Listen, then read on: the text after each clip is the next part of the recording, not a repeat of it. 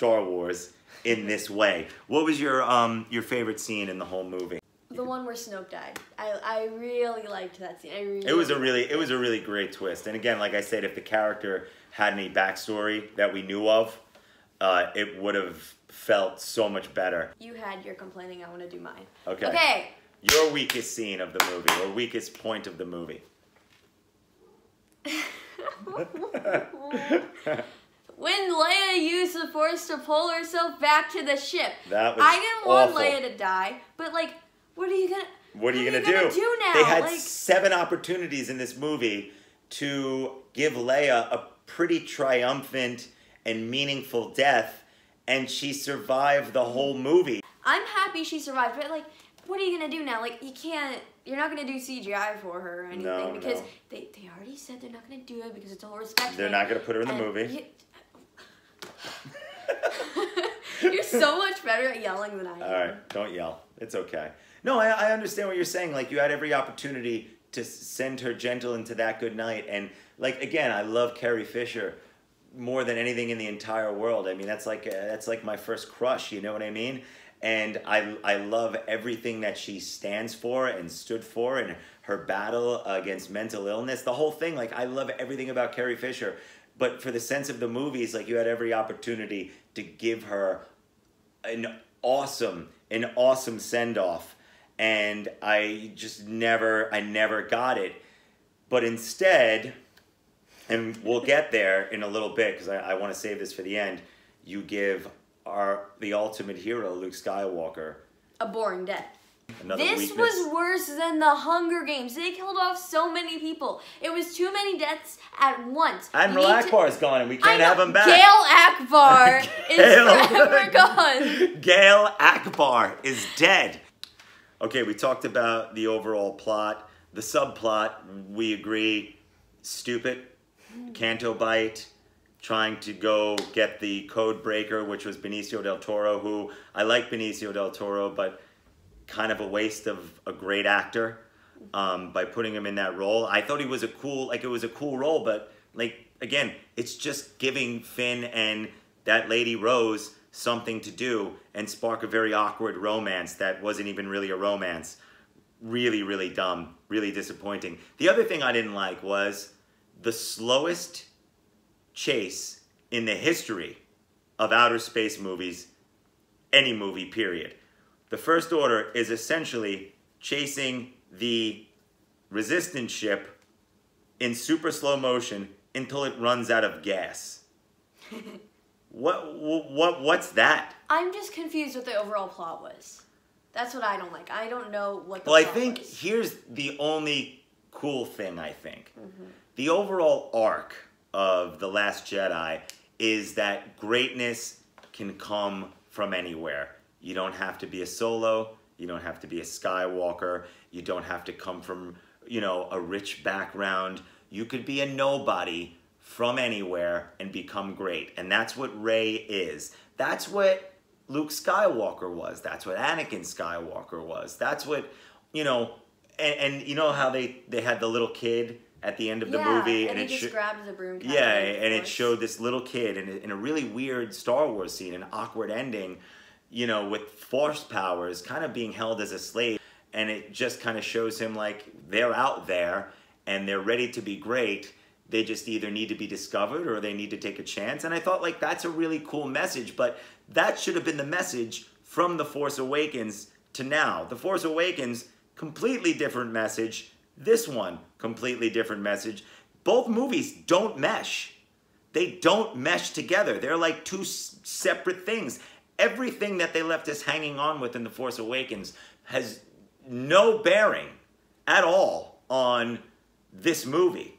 It almost makes The Force Awakens worse. God, listen to me. This is this is not me. You need. I know. I maybe need to get I need out. I need to take a walk. Hang on. Wait here. All right, I'm back. ready? I'm calm. I'm calm now. Yeah, we have I to. want. uh, Wait. I want to talk about um, one line that Kylo said that stuck out to me. Mm-hmm.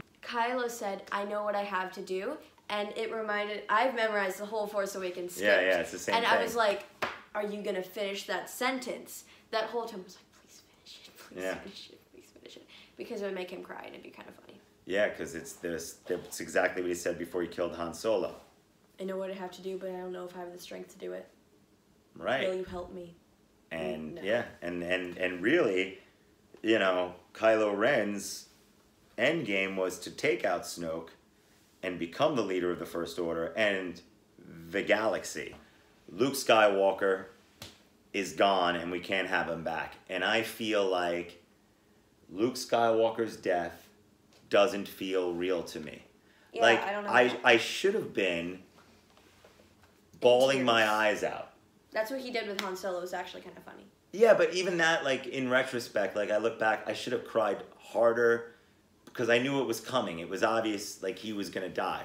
But with Luke, um, I cried at the. I don't know if you saw me, but when the the crawl went, the opening crawl, I was tearing up because I was like, "This is amazing." I'm sitting, I'm sitting here with my kids and family and friends and my my wife and my little dog Chewy and we're you know we're getting ready to watch another Star Wars movie. I never thought this would happen in my lifetime, so I'm tearing up a little bit, thinking like this is going to be nostalgic. Yeah, I, I wanted it to be so different and so out there, but again, like I wanted it to make sense, and everything was just out of place. And even at the end, where Luke projects himself as a pretend distraction in the middle of this war just to like kind of take the first order's eyes off the rest of the rebellion so they can escape or the resistance so they can escape and become the rebellion um, what he did was he's meditating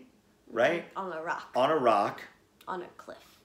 on Ahch-To and About Ky- to fall off. Kylo Ren is trying to fight this pretend hologram Luke and It was cool though. I like that short oh you liked it that's ten cool if you liked it seconds of the fight. Fight was actually kind of cool. I liked it because it was it was pretty. Like, Yeah, but you got Luke Skywalker. Make him fight. Make him really be there and fight. Like he has an he exchange. Rey. He yeah, with sticks, sticks. With what are they? What are they? Ewoks, sticks and rocks. I, I think that like at the end when he has that exchange with Princess Leia, you know, brother and sister. It wasn't real. It wasn't even real. It was the pretend Luke, and then it was pretend Luke in this fight. And Luke, meanwhile, never left the island, and then he just dies from exhaustion.